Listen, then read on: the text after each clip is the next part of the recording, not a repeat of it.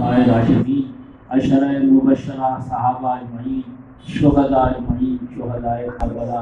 असीरान Karbala आप भी अजवाज मुतहर ताबईन तब ताबईन अइम्मा अजमईन कुल बुजुर्गान और ये इकराम जनाब में पेश करते हैं जनाब गौ से आज़म रज़ी